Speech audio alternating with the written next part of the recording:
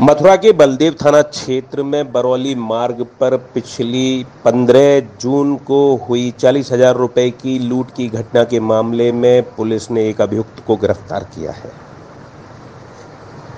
इस संबंध में आज पुलिस लाइन सभागार में आयोजित प्रेस वार्ता में जानकारी देते हुए एसपी देहात आदित्य शुक्ला ने बताया कि पकड़े गए बदमाश के कब्जे से लूट में प्रयुक्त मोटरसाइकिल, अवैध तमंचा और करीब साढ़े पाँच हज़ार रुपए की नकदी भी बरामद हुई है।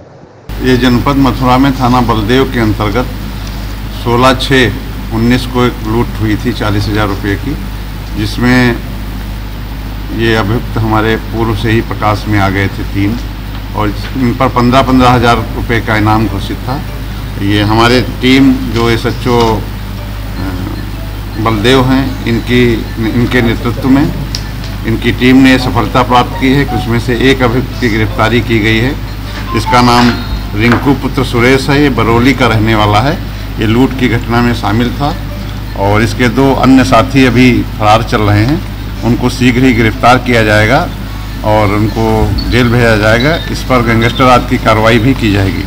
इसके साथ में इनके कब्जे से कुछ पैसा बरामद हुआ है, लूट जिसे लूट में प्रयुक्त हुई मोटरसाइकिल बरामद हुई है ये तमंचा, एक अदद बरामद हुआ है इससे, और कारतूस एक बरामद हुआ है। इस प्रकार से इसको ये जो पहली बार इसने ये क्राइम किया है, काफ़ी पूछताछ के बाद, काफ़ी सुरागरसी पतारसी के बाद ये जानकारी जो हुई है तो उसमें इसका पहला क्राइम है, और इसने बड़े ही सातिर ढंग से इस घटना को अंजाम दिया था। इसको गिरफ़्तार करके जेल भेजा जा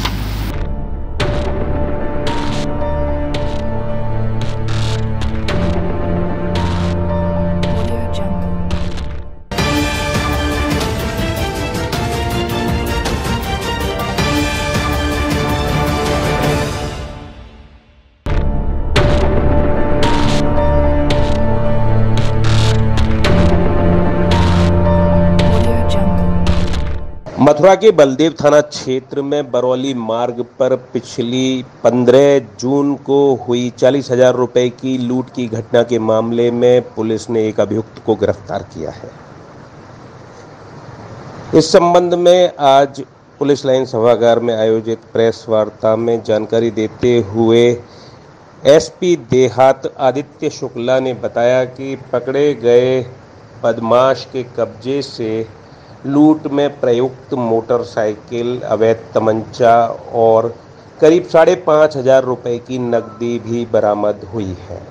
ये जनपद मथुरा में थाना बलदेव के अंतर्गत 16 छः उन्नीस को एक लूट हुई थी चालीस हज़ार रुपये की, जिसमें ये अभियुक्त हमारे पूर्व से ही प्रकाश में आ गए थे तीन, और इन पर पंद्रह पंद्रह हज़ार रुपये का इनाम घोषित था।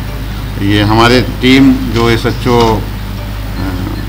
बलदेव हैं, इनकी, इनके नेतृत्व में, इनकी टीम ने सफलता प्राप्त की है उसमें से एक अभियुक्त की गिरफ्तारी की गई है।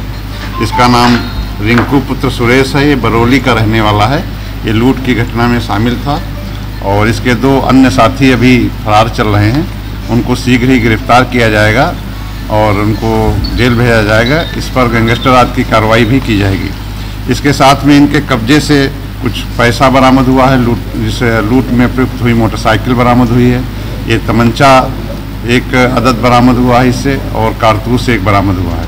इस प्रकार से इसको ये जो पहली बार इसने ये क्राइम किया है, काफ़ी पूछताछ के बाद, काफ़ी सुरागरसी पतारसी के बाद ये जानकारी जो हुई है तो उसमें इसका पहला क्राइम है और इसने बड़े ही सातिर ढंग से इस घटना को अंजाम दिया था। इसको गिरफ़्तार करके जेल भेजा जा रहा